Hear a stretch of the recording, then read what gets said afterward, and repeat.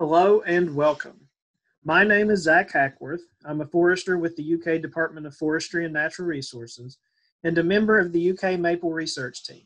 And we are excited to offer this tutorial video for those interested in, our, in participating in our beginner maple producer study. This project is really a unique opportunity to accomplish several tasks in growing Kentucky's maple syrup industry and we thank each one of you for your interest and cooperation in being a part of it. To get things started, I want to provide some background on the project, and then we will jump into all the exciting parts of talking about tapping trees and gathering sap. All the things that will help you be well on your way to becoming a full fledged maple producer. In late summer, the UK Research Foundation which comprises folks from UK, the Kentucky Maple Syrup Association, and various other organizations, was awarded a large grant from the U.S. Department of Agriculture to help grow the state's maple syrup industry. Now, historically, maple syrup in Kentucky has really been produced on just a hobbyist or recreational level, but it's really started to take off in the last five to 10 years as the statewide production of maple syrup is up. So we were really excited to obtain this grant. To help promote and advance the industry, we devised a series of goals, all of which fall into one of three broad categories. The first goal is to increase the number of producers in the state and thereby increase the volume of syrup being produced. Two, in keeping with the idea of growing the volume of syrup, in the state was the idea of supporting our current producers and helping them to get their brand and their products out to a larger clientele.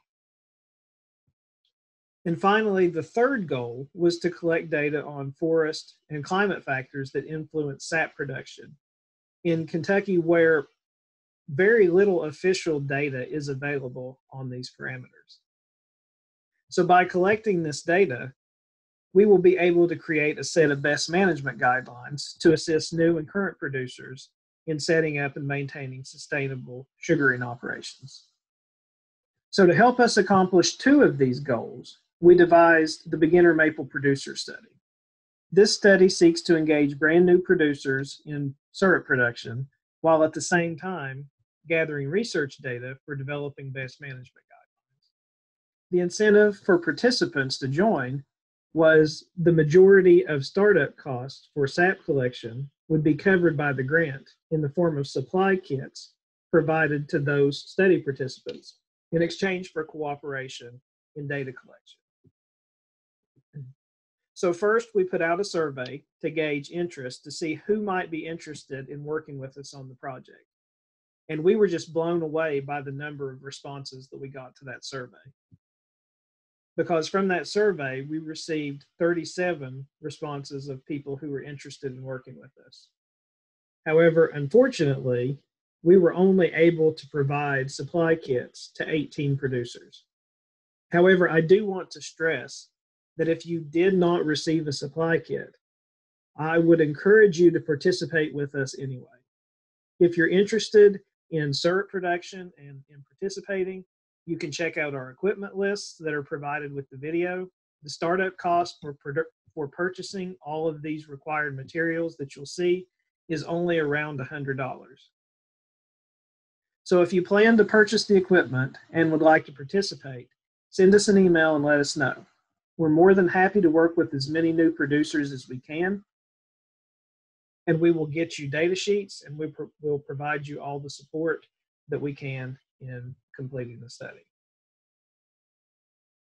So that brings us up to speed on how we got to this point.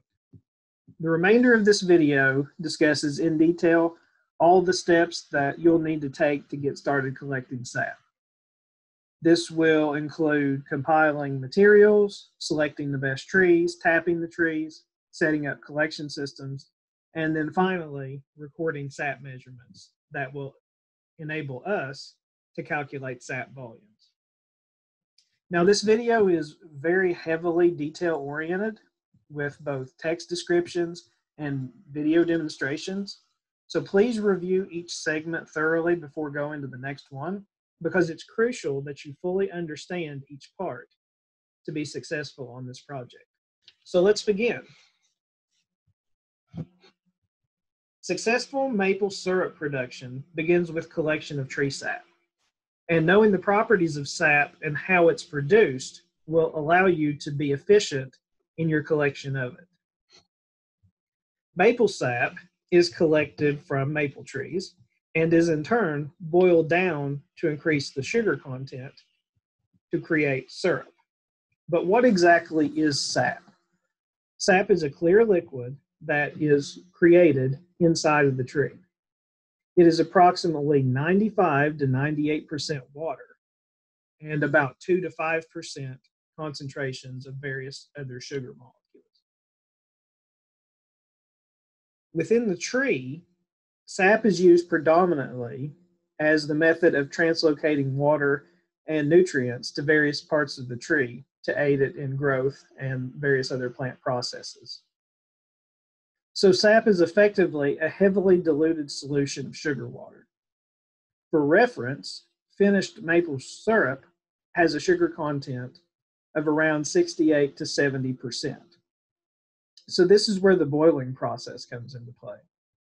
By boiling off the excess water, we are slowly, and sometimes very slowly, increasing the sugar content of the mixture until it reaches the consistency of syrup.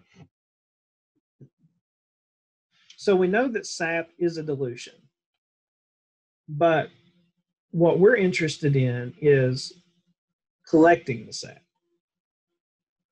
So when is sap produced in the tree? And more importantly, when can it be collected? Sap is produced year round in the tree from the taking up of water in through the roots, but co- conditions for collecting sap are only right during the dormant season or winter when all the leaves have fallen from the trees. In Kentucky, optimal times for tapping maple trees is between approximately December and March. But why is that approximate? Well, sap collection and production is climate and temperature dependent.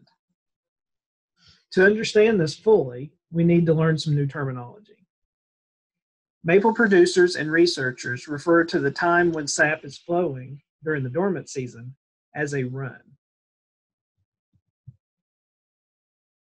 Now, if you hang out around a group of experienced producers, you'll likely hear terms like a run day, or you'll hear descriptions of how many runs a producer had during the last season, or maybe even if it was a bad run year. During a run is when we want to ensure that we have our taps installed and our buckets ready to collect sap. But how do we know when runs will occur? Runs occur during periods of freezing and thawing the statement that's most often heard when describing the timing of a run is that it occurs on days when it was below freezing the night before and above freezing during the day.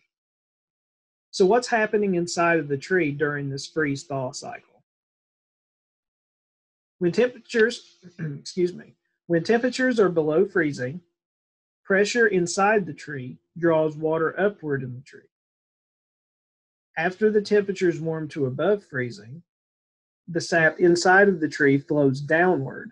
And if your taps are in place, the sap will flow through the tap into your bucket.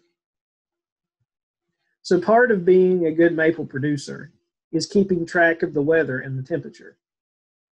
If temperatures are hovering near 32 degrees Fahrenheit, you can be certain a run is probably near. But it should be noted that both the freeze and the thaw are needed for the run. If temperatures are consistently below freezing, let's say 20 to 25 degrees Fahrenheit, or above freezing, around 40 degrees Fahrenheit, runs are unlikely to occur. This is why there's so much variability in sap production from year to year. During unseasonable winters, where temperatures are either very cold or very warm, sap production can be drastically reduced. This is one of the reasons why it's so hard to predict sap production patterns. But in Kentucky, you can expect typically one to two good runs every season with a pretty good confidence. So now that we know that sap production begins at the tree and that it's dependent on the weather, what else influences sap? Well, certain tree characteristics influence production, with tree species being one of the most important ones. For this project, we're working with maple trees, but within maple trees, there is a hierarchy. Sugar maples are considered the top producing tree for syrup or sugar production, hence its name. In the northern latitudes, these trees are typically the sole species used for syrup, but in Kentucky, sugar maple is not as common and red maple is much more common. But although red maple is more common, it tends to produce lower volumes of sap and has a lower sugar content than sugar maple. Just a note though, you can tap any species of maple for sap. Sugar maple and red maple are certainly prized for syrup production, but you can also tap silver maples, black maples, and box elders. But the quality of sap from these species is much poorer compared to sugar and even red maple. So for the purpose of this study, we'll ask that you stick to sugar and red maple. Sap production is probably most dependent on tree size. As may be expected, larger trees produce greater volumes of sap. In forestry, especially when dealing with syrup production, we often look at a tree's diameter and the size and quality of its crown when selecting trees to tap. And finally, in addition to these factors, we will also want to look at the overall health of the tree before tapping it. Sap flows through the wood, so if there are any injuries to the tree, or there are signs of rot or overall decline in the tree, chances are that that tree won't produce good sap and it should likely be avoided. So not only do tree characteristics influence sap, but so does the location and the growing environment of the tree.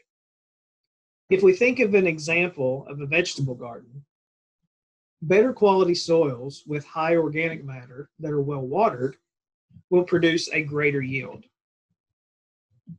This idea is very similar for sap. Soil conditions, terrain, and a host of other variables factor into the amount of, quality of sap produced for a particular tree, in addition to the size of the tree and the temperatures for a particular set of days. So you can see that many factors interact in the production of sap. This is why we need further study to try to parse out these trends into concrete recommendations that we can give to our producers. And that's what we're hoping that you can help us with. We have participants from all regions across Kentucky representing different soil types, different terrain types, and different forest types. By looking at all these factors, we're excited and hopeful to derive some useful information to help explain some of the trends that we're seeing in sap production. So now that we've had a small crash course, if you will, in sap production, let's discuss getting started with tapping. The first step is to get a good plan together, which starts with designing a collection system. The question of what collection system is right differs for everyone. For a beginner, we recommend a closed system, gravity driven collection system which effectively entails a tap and a lidded bucket connected by a tubing.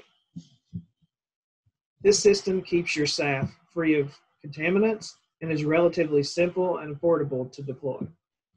For tapping, you'll just need a cordless drill and a bit and a small mallet. And for the collection system, just a spout, tube, and container with lid. So this is the type of collection system that we've designed for use with this study. So now let's take a look at the equipment inventory that you'll need to get started for the project. So let's discuss what materials and equipment you will need to participate in this study. Now, if you were one of the 18 folks who applied and were selected to receive a supply kit, some of this equipment will be provided for you, and some of it you will need to supply yourself. If you were not one of the 18 folks selected, we still encourage you to work with us. Reach out um, to us and let us know that you're interested, and we would be more than happy to help you get started. Um, but again, we can only supply a limited number of kits to folks. So if you were not one of the 18 to receive a kit, you will need to purchase and compile all the equipment that you see in front of me. We provided equipment lists along with the tutorial video so that you know exactly what to get and in what quantity. Um, we've also supplied the vendors that we use um, to acquire this material. Now, we don't advocate for any of these vendors, um, but um, it's often a comfort to folks to have the same um, equipment and materials um, when starting up a new project. So we have made that available also. So for the folks who received a supply kit, let's discuss what you'll find in that kit.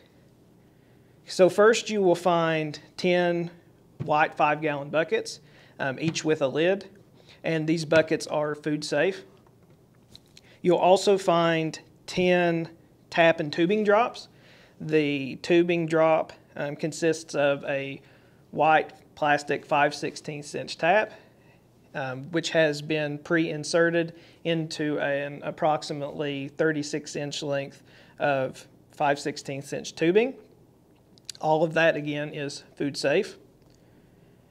You also find a 5 16 inch drill bit that you'll use to drill your tap holes in the tree. You'll find a roll of flagging. Now the flagging will be in various colors, but the flagging is important to help you identify and easily see your trees in the field. It's also what you would use to write the unique identifying number on each tree.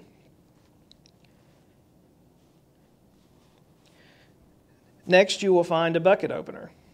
The bucket opener might seem like a little thing, but on cold days, these bucket lids get very rigid and hard to open. And on cold days, our fingers typically don't want to work either. So um, the bucket opener is going to be a lifesaver and it will help uh, preserve your fingers on those cold days. Next, you will find a tape measure. And you might be asking yourself, why did they send me a tape measure? I've got 10 in the garage already. But the specific tape measure that we send is an English and a metric tape measure. And for this study, we're going to be working in metric. So we want to make sure that everyone has access to a metric tape measure. So that's included. Lastly, you will find an envelope included in the supply kit. Inside of the envelope, you will find the data sheets. These data sheets are what you will use to record um, the various measurements that you will take when you go to collect sap from each bucket. And it's on those data sheets um, that you'll record the data. Okay, the envelope, the envelope is a postage paid self-addressed envelope back to us. And at the end of the maple season, you will pop your completed data sheets into that envelope, seal it up, and then stick that back in the mail to us. And we'll take it from there with the data analysis. And um, hopefully, very shortly by the summer, when we come to visit you on your farm to take tree measurements, we will be able to provide you estimates of um, how much sap was collected from each of your trees. Okay, so that um, is all of the, the supplies that you will find inside of the supply kits. Okay, so what will you have to provide? So first you will have to provide some type of cordless battery drill. Okay, a variable speed drill um, works fine, most construction grades. Um, if you're on a, if you're using a smaller drill, um, that might not work too well, uh, but anything um, of this standard size that you see will work fine. Um, if you're into nostalgic maple syrup production, then you can use um, a hand brace and bit to drill the tap holes, that also works fine. You will also need some type of bit to drill holes for the end of the tube drops to go into the buckets. Um, what you see here is a step down bit. That's what I like to drill um, the holes in the buckets with. Um, the plastic um, is relatively um, soft on these buckets and the step down bit works very well for that. Um, a half inch drill bit, if you want to use a fixed width bit, is about the maximum size that we, you will need because we don't want those holes to be too big. All right, so now uh, after that you will need some type of hammer or small mallet to tap in um, the spout into the tap hole after it's been drilled. You'll need a clipboard of some type for your data sheets. Um, this type of clipboard is uh, what I recommend. It has um, a compartment on the inside of it. It opens up so you can stick your data sheets inside of that um, when you're transporting them in the woods. That just keeps them out of the elements, keeps them clean, keeps them dry, um, and preserves the data integrity, which is um, very important for this study. You can also carry in there your pencils and your Sharpie. Okay, so your Sharpie, you'll need to compile that. That's what you'll use to record um, the individual tree numbers um, on the flagging. Okay, then you will need to, to gather a 31 inch piece of rope or cord or string or yarn will even work. Okay, the, the um, string is what we will use to determine if a particular tree is large enough to be tapped or not. Okay, and it's very important that the length of that string is pretty much exactly 31 inches. Okay, and then lastly, you will need some type of pry bar. At the end of the season, you will need to remove the taps from the trees so that the tree can close up the tap hole. This particular bar is um, a bar that's specifically designed to pull taps from trees. You don't need to go out and buy this one unless you want to. Um, a, a, regular flat pry bar will work fine, or um, even a claw hammer um, with a straight claw will work in a pinch. Okay, the, what you don't see in front of me is um, at the end of the season, you'll um, need to compile just some household bleach cleaner to sanitize the buckets. All right, so that concludes all of the materials that you will need to participate in the study. So now that we know what items we'll need, let's talk about actually getting started. So before we go afield, there's actually a few quick preliminary tasks that'll need to be completed first. The first thing that you'll need to do is you'll need to drill a hole in each of your buckets to insert the tubing. The best place to drill this hole is in the side of the bucket near the top edge, as you can see in the image. By drilling in the side of the bucket, you can keep out the rain that would otherwise dilute and contaminate your sap if you were to drill a hole in the lid. The hole should be just large enough to accommodate the tubing. A close, snug fit is preferable. I like to use a step down bit for drilling this hole, but a drill bit no larger than a half inch can also be used. So after you drill the holes in each of your buckets, you should rinse out the insides of your buckets and also the insides of your tap tube drops just to make sure that any residual plastic particles that may still be there um, will be eliminated and that your sap um, will be good and clean when you go to collect it. Lastly, you'll need to remove the ring tab from the lids. As you see in the bottom picture, the tab is sticking out and there is a small arrow that indicates which direction that the tab should be removed in removing the tab just ensures that you can take the lid on and off um, more easily. So then finally, after you've done those tasks, it's time to compile all of your installation materials. I like to use a separate five gallon bucket to keep all of my items in one place. So in your equipment bucket, you'll need your drill, your 5 16ths tapping bit, your hammer, your flagging, Sharpie, and that 31 inch length of rope that we had you compile. You'll also may need to make sure that you gather your tap tube drops and your buckets and lids. So after you've done all of those tasks, it's time to put on your winter coat and your toboggan and lace up your boots because it's time to get started tapping. So now that we're afield with drill in hand, what's our first step? What's our first move? First, you will need to identify 10 maples of adequate size or tapping.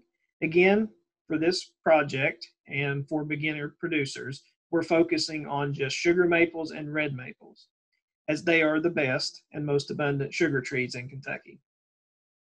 Admittedly, this can be a very challenging task if you're not familiar with identifying trees. We've included some links to some videos that shows the identifying characteristics of sugar and red maples. But there are also many, many more online resources for tree identification. There are um, various online sources and videos, various books on tree identification. But in all of these, regardless of the method that you use, you will need to focus on the identifying characteristics for winter identification. And that is mostly identifying trees by their bark.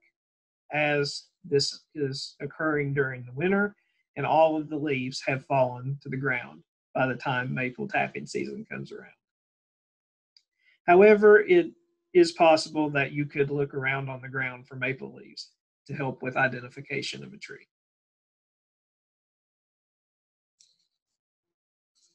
So after you positively identify a maple, the next question should be, is this tree large enough to be tapped? There is a threshold for tapping of trees, and that threshold is 10 inches in diameter. Now, in forestry, we measure a tree's diameter at breast height, which is standardized at four and a half feet above the ground. And if the tree is on a slope, then this is four and a half feet above the ground on the uphill side of the tree. So this means that a tree must measure at least 10 inches in diameter at four and a half feet above the ground. Now, there are several ways of going about measuring diameter at breast height, and we've included a great video that's been put together by the folks in UK Extension. However, for the purpose of this project, we don't necessarily need to know the actual DBH to determine if the tree is tappable. We can use a quicker method of deciding if it's large enough or not to tap. Do you remember that 31 inch section of rope that we had you require? Well, we're going to use that to help us. So grab that 31 inch length of rope and we'll show you how you can use it to determine if a tree is large enough to tap. So now that you've identified some maple trees, it's time to see if they're big enough to be tapped. To be tapped for syrup production, maple trees have to be at least 10 inches in diameter. Now in forestry, we take diameters at a standardized height above the ground, and that height is four and a half feet. This is referred to as taking diameter at breast height because four and a half feet is approximately chest height on most humans. So taking diameters at breast height can be uh, a fairly daunting task if you've never done it before. Um, but luckily for us, we don't actually have to know or take the actual diameter um, we can cheat a little bit. So if you'll recall, um, you had to compile in your list of uh, supplies a 31 inch piece of rope, okay? And this is going to be used to determine if trees are going to be large enough to tap. If you remember from your high school math days, circumference, which is um, the length around a circle, is related to diameter, okay? And the equation is circumference equals 3.1 times the diameter. Now in this case, the diameter that we're interested in is 10 inches. Okay, so if we plug that into the formula, circumference equals 3.1 times 10 inches, that gives us a 31 inch circumference for a 10 inch tree, meaning that the distance around the tree at breast height for a 10 inch tree is 31 inches. Okay, so how does that help us? Well, we have a 31 inch piece of rope and our test is going to be this. If I wrap my rope around the tree at breast height and the two ends of the rope do not meet or do not overlap, then that tree is large enough to be tapped. That tree is over 10 inches in diameter at breast height. Okay? So again, how did I do that? I simply found where four and a half feet above the ground is. This is breast height. I'm going to take my 31 inch piece of rope, wrap it around the tree horizontally at breast height. And again, it, my test is if the two ends of the rope meet or they overlap, the tree is not large enough. But, for example, in this case, the two ends do not meet. There's some daylight or a gap in between the two ends. Therefore, this means that this tree is large enough to be tapped. Okay, and uh, just as a check, I did measure the diameter on this tree and it's approximately 12 and a half inches. So um, our rule does check out. Now let's look at an example where um, a tree would not be large enough to be tapped.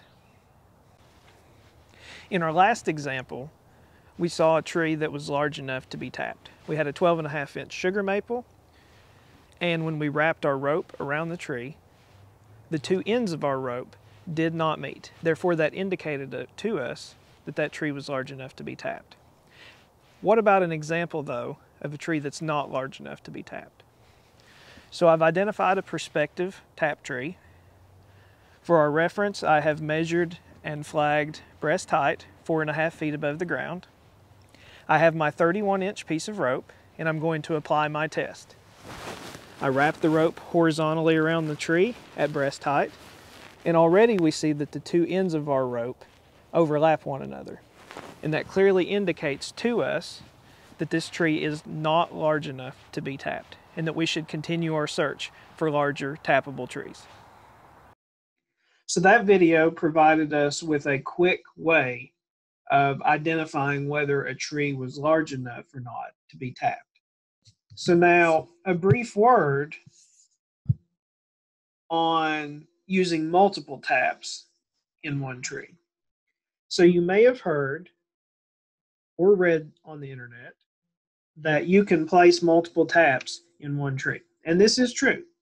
Depending on the size of the tree, multiple taps can be used, and we have inserted the generally recognized guidelines for the number of taps that can be used based upon diameter at breast height.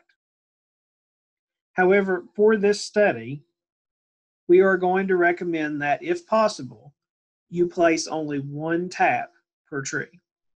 This is recommended for quite a few reasons. First, record keeping with the data will be much easier for you and much easier for us if we use only one tap per tree. We are interested in looking at the tap level and the tree level data, and keeping these two things separate are easiest when there is only one tap per tree. Not to mention, this will be much easier on you when it's 30 degrees outside and you're collecting sap and trying to take measurements. Also, one tap per tree helps to hedge your bets a little bit. For example, if you had a tree tap in a tree that was 30 inches diameter at breast height, according to the tapping guidelines, you could place three taps in this tree. However, we can only see what's on the outside of the tree. And assuming the outside of the tree looked fine, we tapped it. But if there was some type of internal defect like heart rot, that would drastically inhibit sap flow in the wood. So at this point, you've lost production in a third of your taps. So using 10 trees just increases your odds of collecting a good amount of sap. All right, so let's say that you've identified a maple and that it's large enough to be tapped. What's next? So now begins the fun part of actually assembling the collection system. So the first thing you'll want to do is you want to tie a piece of flagging around the tree. This just helps us visualize and see the trees easier in the woods when we go back for sap collection. Also, on this, the flagging, you will want to write the tree number of this particular tree. And it's a good idea to write that number several places on the flagging around the tree. For tree numbers, we will use sequential numbers from 1 to 10. So for example, if I have tapped three trees already, those trees should have been trees numbers 1, 2, and 3. And the next tree that I tap should be tree number 4. This numbering process is very important because it's what helps us to track individual sap volume production for each tree. So you will record this tree number each time you take a measurement of the sap from this particular tree's bucket. So after you flag the tree, it's time to set the bucket. Find a good sturdy location near the base of the tree to place the bucket.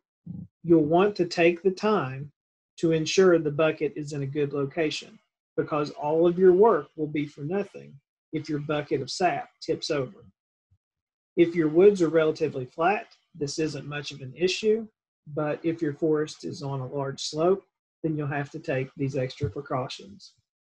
Typically on a slope, the bucket will be placed on the uphill side of the tree, as you can often wedge the bucket in between the slope and some uh, tree roots that may be sticking out of the ground. You can use the heel of your boot to remove some of the soil if necessary, or add rocks under the bucket to level it up.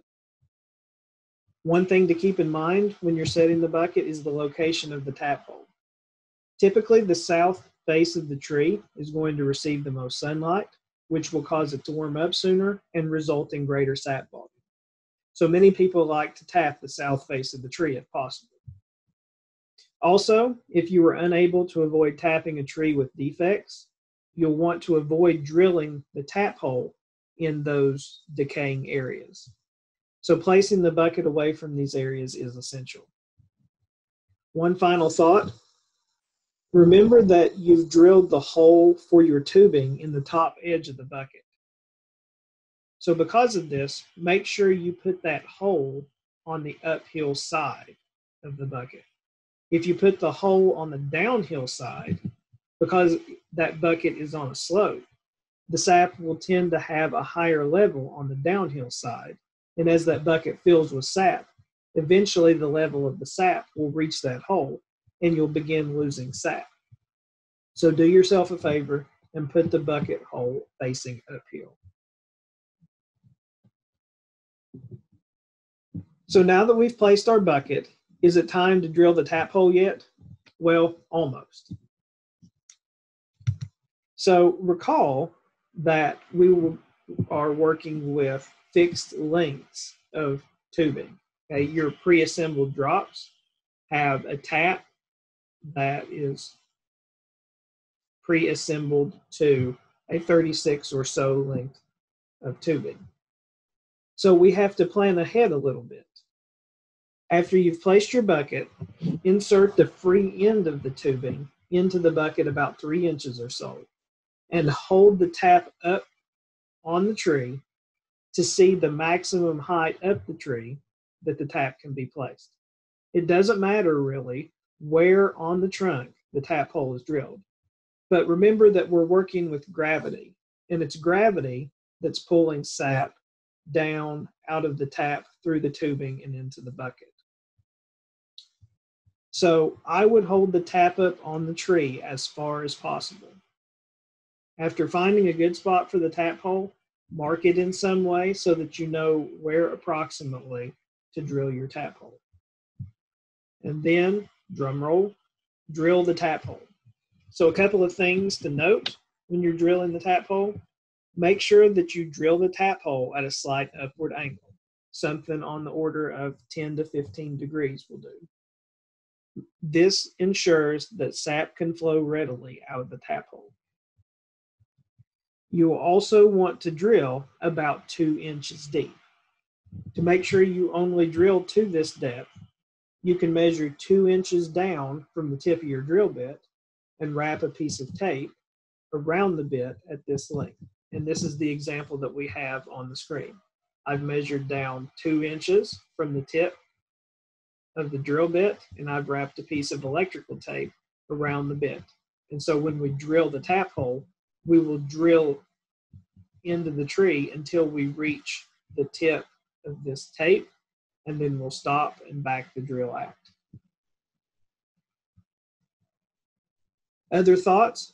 Make sure you drill straight in and out of the tree. Not only do you run the risk of breaking your bit if you don't, but oblong holes will result in a poor seal between your tap hole and the tap, which will result in loss of sap around the tap. Lastly, you'll want to remove any wood chips left in the tap hole. A clean tap hole ensures clean collection of sap. Note too that wood chips coming out of the tap hole should be clean and white. If chips are dark or stained, this is an indication of decay or rot. So you should rotate around the tree and drill a new tap hole.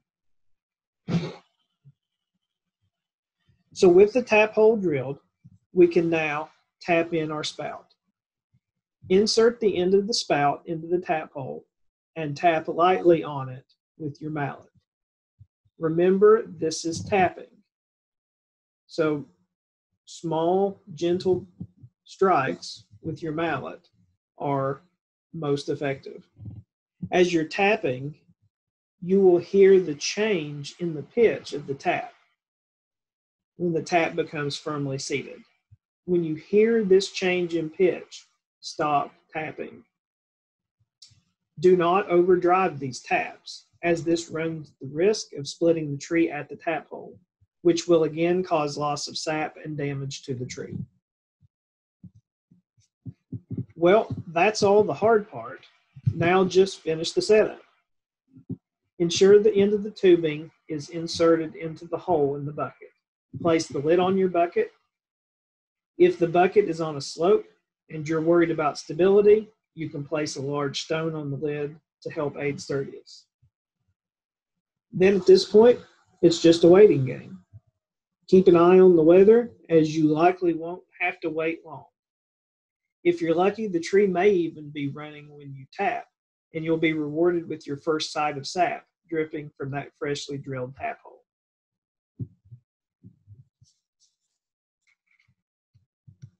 So now that you've installed all your collection systems, you are ready to transition into the checking, recording data, and emptying bucket stage.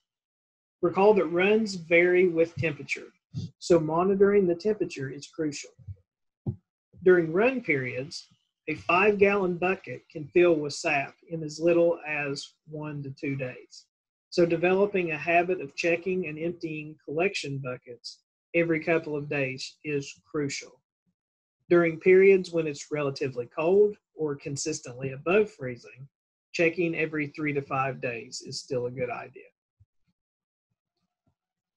So each time you go to check your buckets, you will want to record some basic measurements on the data sheets that we provided.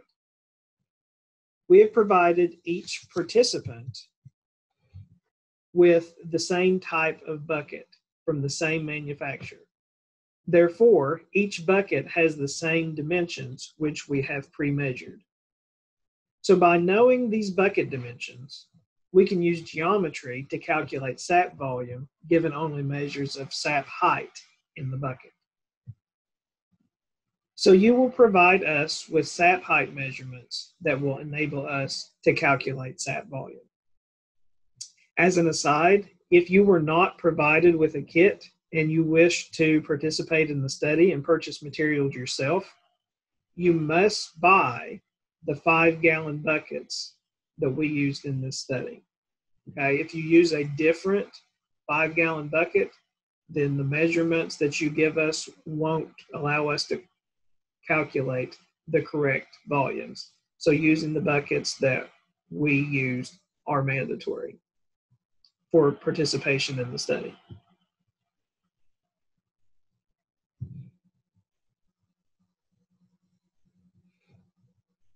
So how are we going to measure sap height? Well, uh, there are some intricacies to this, but you were provided a tape measure. And so you will use that tape measure to record the sap heights. So for measuring and recording sap heights, we will be using the metric scale on the tape measure. The tape measures that you were provided have both an English side which is the top side in inches, and a metric side, which is the bottom scale in centimeters. We'll be using that bottom metric scale in centimeters. So just to refresh everyone's memory on the metric scale, when you're reading this tape measure, the large numbers represent whole centimeters, and the, and the small ticks in between the whole numbers are one tenth or 0.1 centimeters. Okay, so as an example of reading this tape measure, we have this red arrow that is pointing to a particular tick. How would we take that measurement? Well, we count over the number of whole ticks. That gets us to six. And then we count the small ticks as each one of 0.1. So I've got 6.1, 2, 3, 4. And so this particular tick corresponds to 6.4 centimeters from the tip. Okay. So that's how we read the metric side of the tape.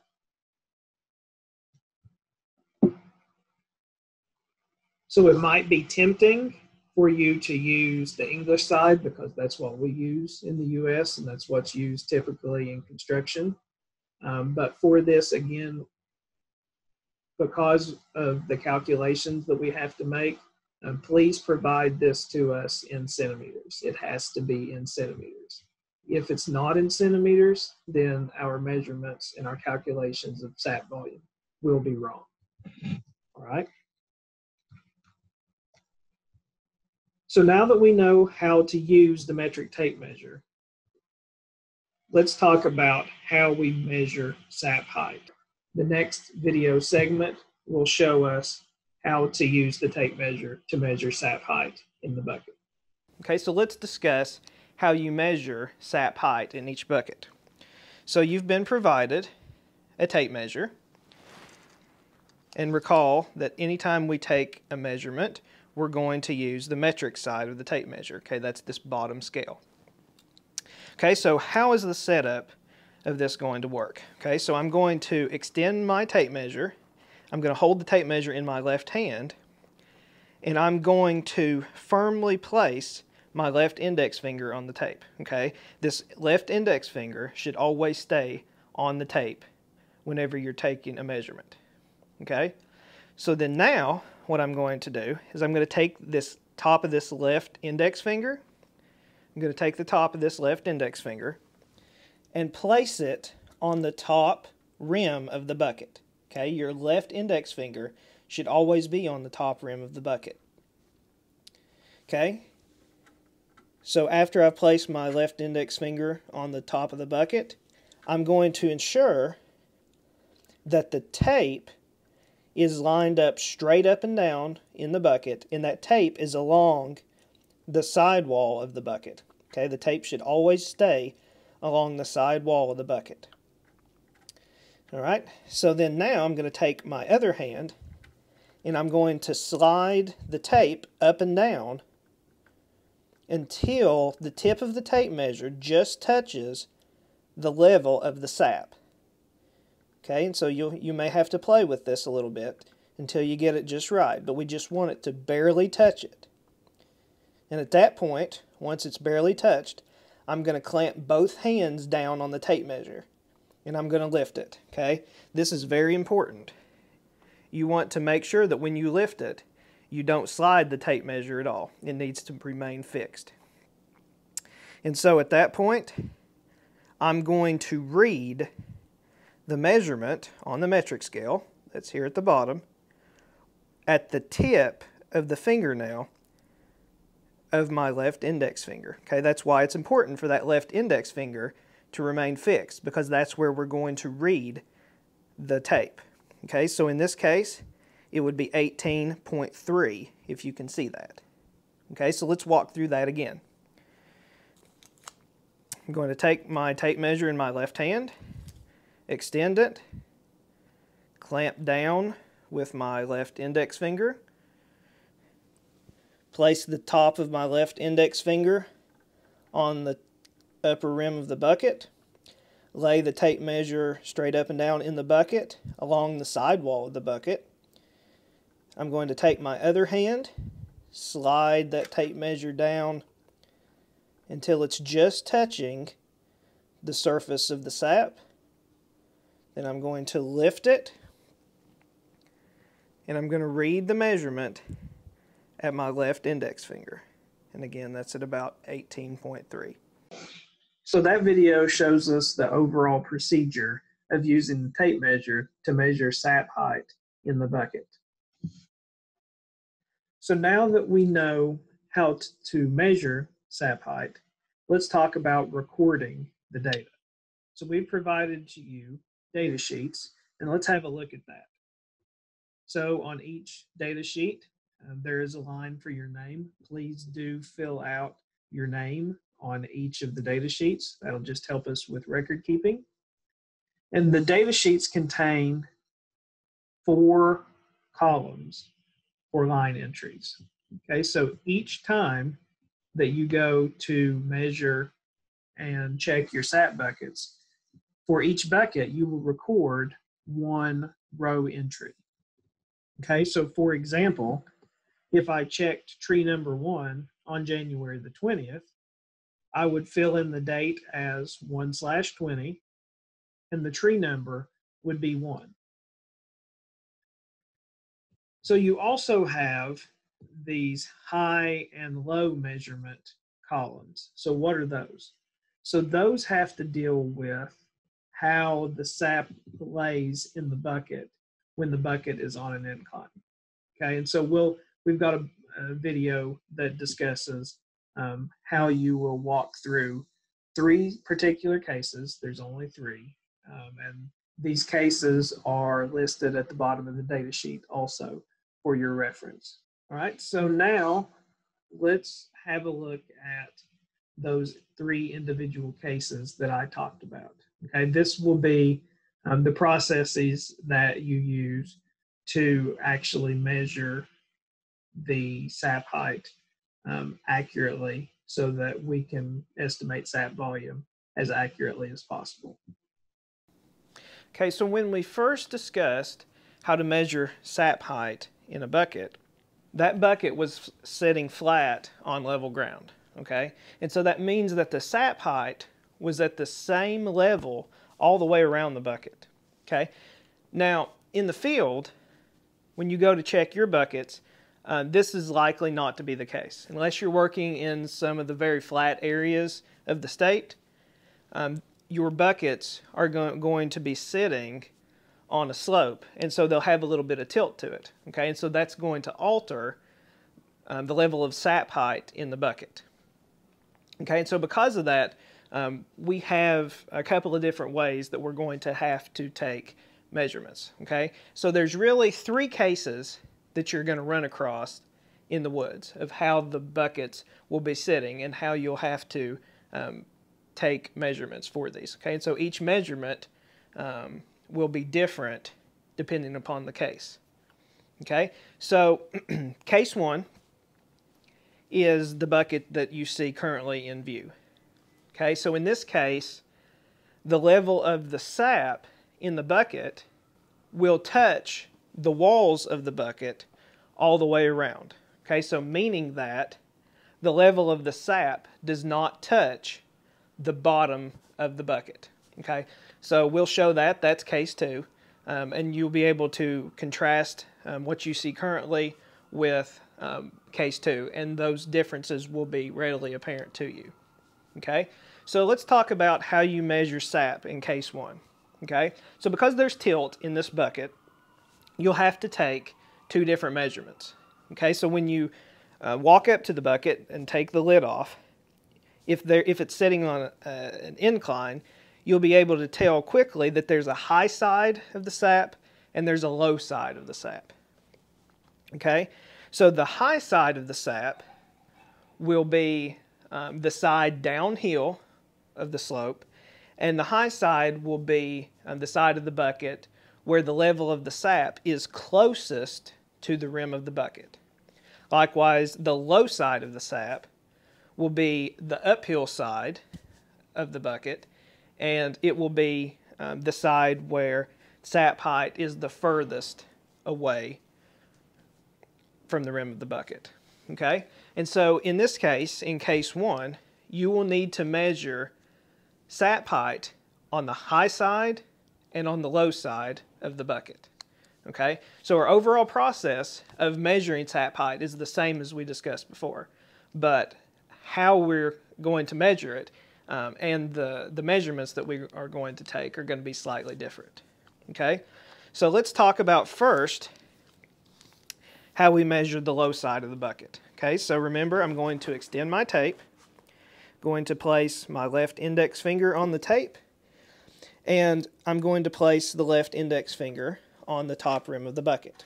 Now, keeping my tape on um, the side of the bucket, I'm going to visually look to see where that low side is. Okay, and then I'm going to take my right hand and extend it until that tape touches that lowest part of the sap. Okay, so in this case, um, again, there is going to be a little bit of margin for error, and that's fine. Um, but you can, you know, kind of slide it around a little bit and see, you know, where that low side is. So I'm looking at this. The low side appears to be right there. Going to extend my tape down. Okay, that looks pretty good there. I'm going to clamp down, lift it up, and I'll take the measurement reading at the tip of my left index finger. And that looks about like 21.8. Okay?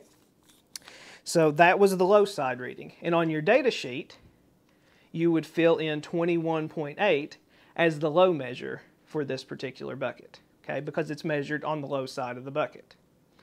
Okay, conversely, I need a high side measurement. Okay, I'm going to do the same exact thing. I'm going to look and see visually where the high point is of the sap. Again, that's going to be the point um, where the distance between the top of the bucket and the top of the sap is the smallest. Okay, I'm going to uh, visually estimate that about right there. Left index finger on the side of the tape on the top of the bucket extend down till it just touches the top of the sap, clamp down, lift it, and my measurement looks about like 14.8. Okay, and so at that point, 14.8 would be my high side measurement that I would record on my data sheet.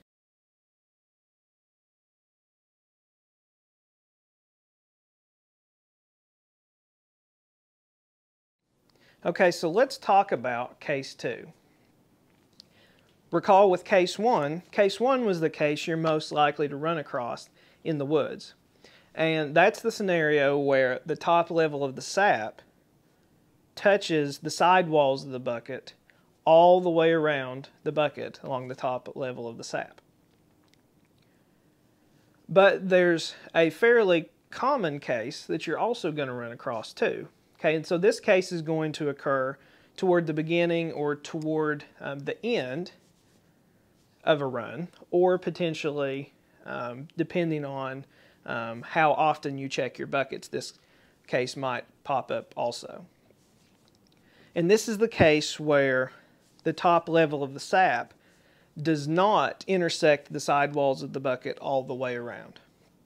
Okay, and so that's the case that you see in the frame currently.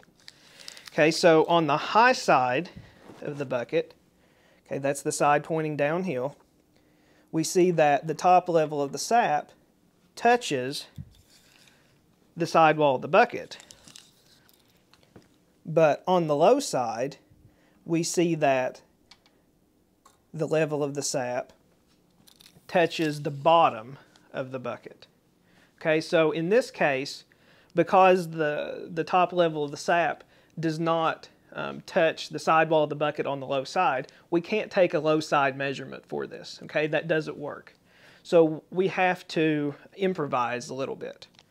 Okay, so how are we going to improvise to take this? Okay, so what we're going to do is we're going to use uh, really the same method of um, measuring sap height that we talked about when I first showed you how to measure sap height. Okay, we are going to level the bucket and take a single measurement. Okay, and so by leveling the bucket, we can that sap height will be the same all the way around the bucket. And we'll only need, again, in that case, to take just one measurement. Okay, so how are we going to level the bucket in the field? The easiest way to do this is to lift the bucket by the handle. Okay, and again, in this case, this is where having a helper um, will make this process easier.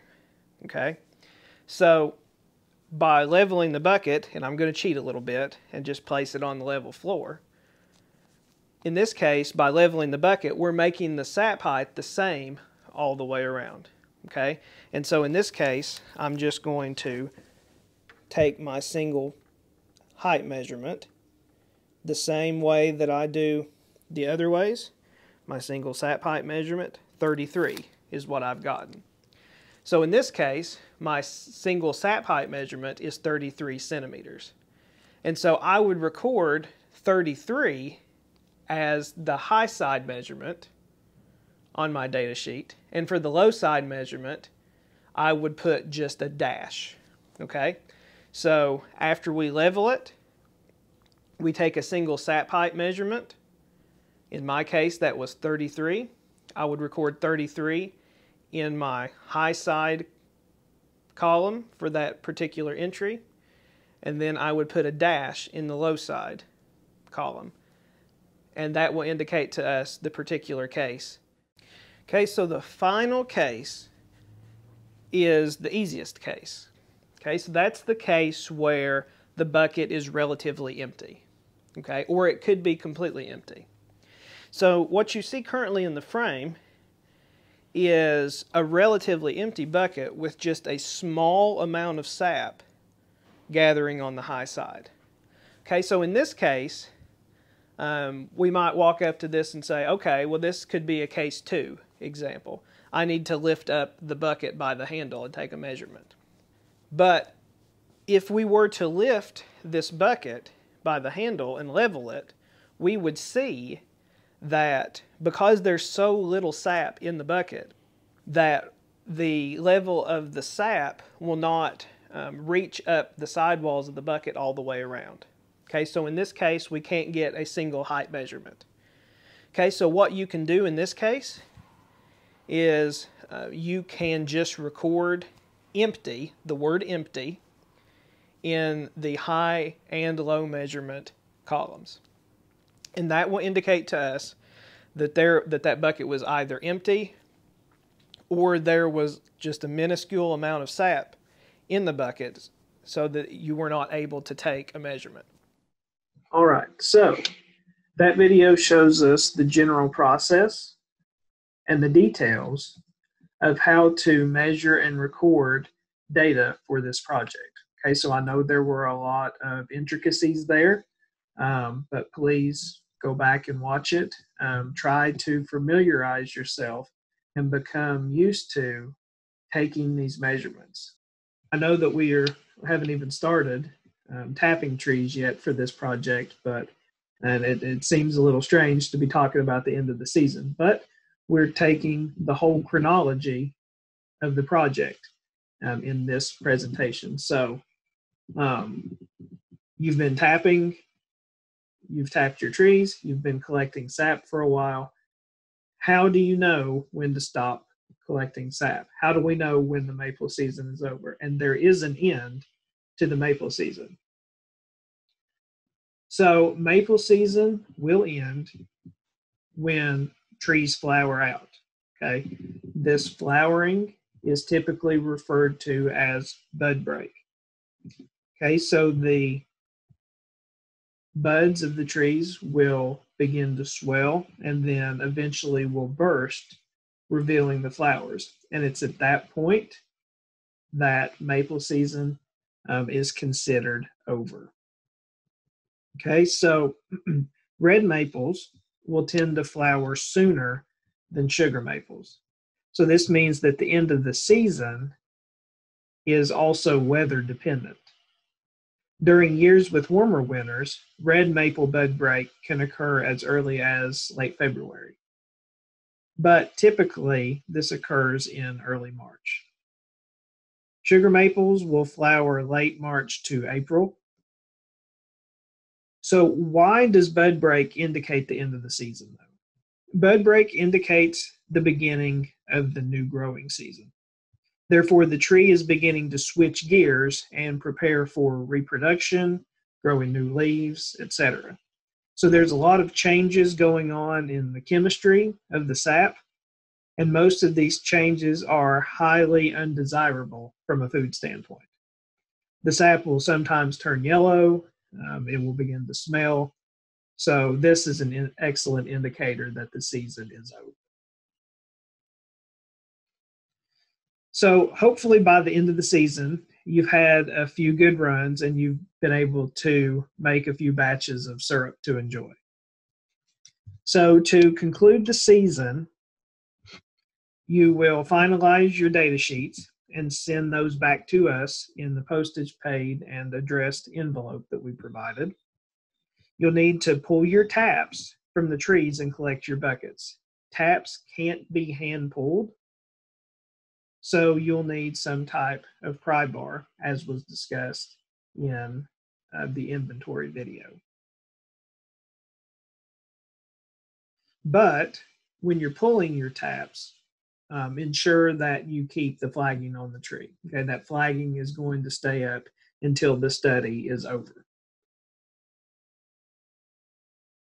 All right, so the next thing you'll need to do at the end of the season is you'll need to sanitize your buckets and your drops. Drops can be soaked in soap and water and scrubbed a little bit on the outside to remove any excess dirt. Um, then they will need to be soaked in a bleach solution to kill microbes. Buckets can also be washed with soap and water and then dipped in a bleach solution. The insides of the buckets and the drops should be rinsed very well with water and then hung up to dry completely afterwards. Once everything is dried out, um, you can curl the drops into a bucket and place a lid on the bucket. This will um, ensure that um, no rodents or anything is chews holes in the tubing. All right, so then uh, lastly, um, we recommend that you don't use these buckets for um, anything else, any other purpose uh, besides maple sap collection.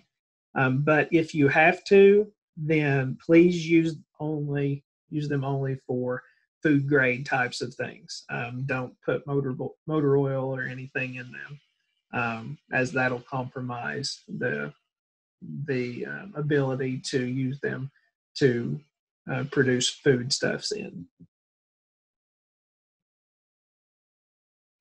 So, what's going to happen after the end of the season? Well, at the end of the season, you will hopefully feel very accomplished and will have produced some batches of syrup. So, in the summer of 2021, myself and a group of researchers from the UK Maple Research Team will come and visit your property. And um, you will help us to collect um, some various other pieces of data that we'll need for this project. Okay. Um, you will show us your tap trees. We'll take some various measurements of um, your tap trees. This will entail taking diameter breast height, height um, of the tree, also we'll record metrics of how large the crown is, how wide the crown is, calculate crown volume. Um, all of these metrics are important for um, estimating sap production from a tree. We'll also take landscape metrics. We'll look at where your trees are um, on the landscape. Okay, are they located at the top of the hill versus are they located in a stream bottom? Okay. During this point, we will also install temperature loggers. Again, recall back that sap is a temperature and weather driven um, commodity. So, knowing what the temperature patterns are um, that correspond to sap production for your trees will greatly help to us to inform um, the management practices, especially um, it'll be useful for data collection in the following season. Okay, um, if you have any questions that might be burning um, at that point, you can ask us. We'll be at your disposal um, for the time that we're there. Um, so please, you know, um, ask us anything that you might might think of um, during that time, or you know, you don't have to wait till then. If you have questions, we want you to feel free to reach out to us. That's why we're here. All right, and then finally, we'll drop off to you um, a new envelope and new data sheets that you'll use in the following season. All right, so the last thing for this presentation, and I thank you um, for making it this far. I know there's been a lot of information, and some of it's been quite tedious, but again, it's all important. Um, and, you know, once again, let me thank you for being part of this study and bearing um, all the tedium. So the last thing are um, some tips for successful sap collection.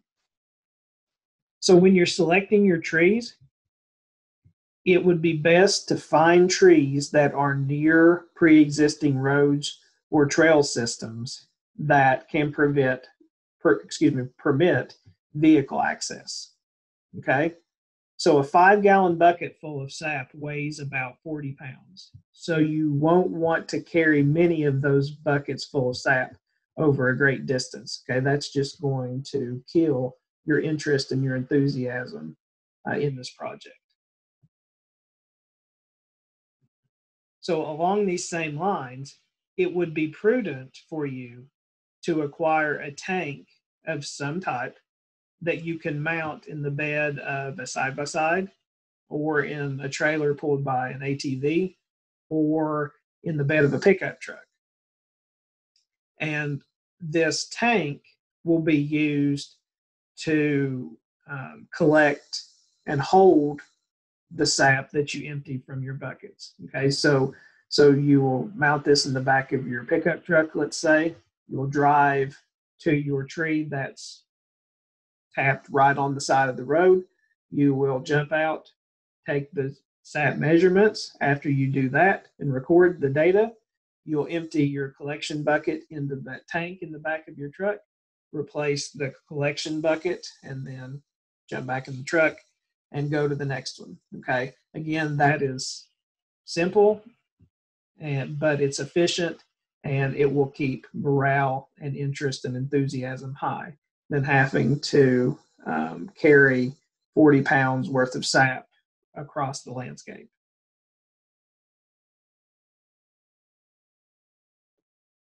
All right, so the next thing is um, getting an eye for what good sap looks like.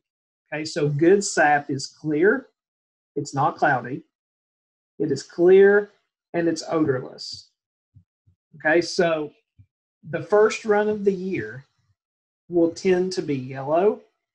It sometimes, okay, it doesn't happen in every tree, but it happens in you know a fair few of them. Out of your ten trees, you'll probably have one that d- displays yellow sap in the first run. Okay, so if you if you ever get yellow or discolored sap, um, then that has um, chemicals in it that are most likely going to um, not be good for syrup production. Okay, so we generally you can, I mean you can do what you want with it, but typically most people will discard that sap. Okay. Likewise, at the end of the season in February, March, if you get sap that is yellow, or even if you get sap that is clear, but it has a strong odor, then that indicates that there is something going on with the biological processes in the tree. It's beginning to switch gears into the growing season. So at that point, that's an indication for the end of the season. And then lastly, again, if you ever get cloudy sap, um, if you if there's a long period in between when you check your buckets, then that sap, as it sits there, the microbes in the sap will begin to work, and that sap will tend to become cloudy. Okay, um, it may develop what we call microbial floaters. You may get some bacterial colonies or something like that. Um, and as microbial activity increases, um, there will be a buildup um, in odor as well. Okay, so if you ever pull the lid off your sap bucket and that sap's cloudy, or you get a, a really strong odor, then that's an indication that that sap has gone bad. And um, you will still want to take the measurements on that. Okay, so so that's that's important. You should always, regardless of what the sap looks like, you should always take a measurement of the sap. Okay. What you do with the sap afterwards is up to you. Okay. Um, but certainly, if that sap is cloudy or if there's a strong smell, then you should most likely discard it. Right. And the last thing is that um, to keep your sap in good shape, you should refrigerate it if possible. Keep it below about 40 degrees. Okay, so if it's cold outside, um, this is generally not a problem. Um, but um, if you're getting later in the season and you're getting some warmer days, then you'll want to try to keep the sap refrigerated if possible before boiling. Okay, sap can set out for a day or two um, above 40 degrees, but no more um, than a day or two. At that point, then you're going to start um, developing byproducts in that sap from microbial activity and that's not good. All right, and that's the end. So we thoroughly hope that you enjoyed this tutorial video and you found it helpful, and we hope that it was clear and easy to understand. So if you have any questions along the way about anything related to the study, how to tap the trees, how to collect the data, then please reach out directly to me, Zach Hackworth, and I've provided my email there. Once again, if email is not the best for you, um, st- we'll start out with an email. And then if we need to, we can uh, discuss on the phone or on a Zoom meeting or whatever works for you um, to try to get the questions answered. Okay, if you have questions relating to um, our grant, or if you have questions relating to um, taking the sap and producing syrup um, from it, or anything um, beyond sap collection, then you can reach out to um, the other members of our research team, um, folks in Extension, uh, Billy Thomas and Jacob Muller, and also to John Lhotka if you have questions regarding um, how sap uh, production is related to things like silviculture and forest management. All right. So once again, we uh, thank you for coming on board this project and we look forward to working with you and seeing you um, sometime next summer. So thanks again, and good luck and happy mapling.